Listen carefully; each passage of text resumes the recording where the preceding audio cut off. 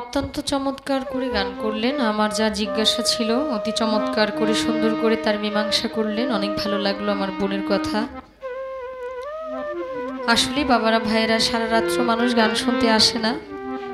কয়েকটা পর্বের জন্য আসে। কেউ দেখতে আসে, কেউ একটু সময় কাটাইতে আসে। কারও ঘুম আসতেছে না, তাই একটু ঘুরে গেড়ে আসে।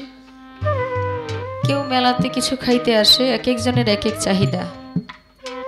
শেষ পর্যন্ত যারা থাকে তারাই বুঝতে পারে আসলে গানের মধ্যে কি হচ্ছে। বাউল গান কোনো ছোটোখাটো বিষয় না। যদিও আমি ছোট মানুষ, আমরা যারা আছি গুণী কথা, জ্ঞানী কথা বলতে পারতেছি না। কিন্তু বাউল গানটা অনেক ঊর্ধ্বের গান। মালিক যেন সঠিক বাউল গান গাওয়ার জন্য তৌফিক দান করেন। আপনারা এত গুণী মানুষ এখানে বসে আছেন যারা চাইলেই আমার মতো খাদিজাকে তৈরি করতে পারেন। আপনাদের সামনে আমি কি বলব বলেন? আপনাদের সাথে কি বা বলার আছে আমার? কারণ আপনারা গান শুনতে শুনতে এতটুকু জ্ঞানী হয়ে গেছেন যে গান, যে কথা আমরা বলব, এগুলো সবই আপনারা জানেন। তবু গান করে চলি আমরা, এটাই আমাদের সম্বল। আপনি দোয়া করবেন সকলে যেন সামনের দিকে ভালো কিছু উপহার দিতে পারি। কারণ শিখা জানা বোঝার তো আর শেষ নেই। বয়সটা তো কেবল শুরু। যদি গান বাজনায় থাকি, তাহলে যেন ভালো কিছু আপনাদেরকে উপহার দিতে পারি। এই দোয়াটা চাই। আমার প্রশ্নের মীমাংসা করে অত্যন্ত চমৎকার করে একটি প্রশ্ন রাখলেন আমার কাছে।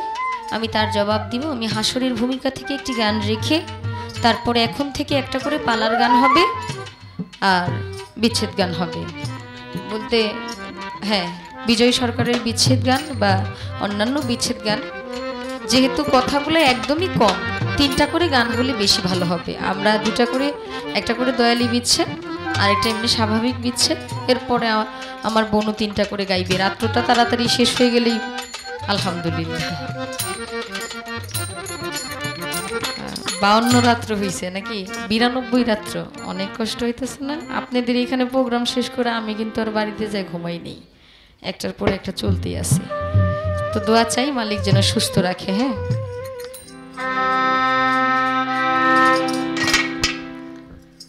কঠিন হাসরের বেলা গাও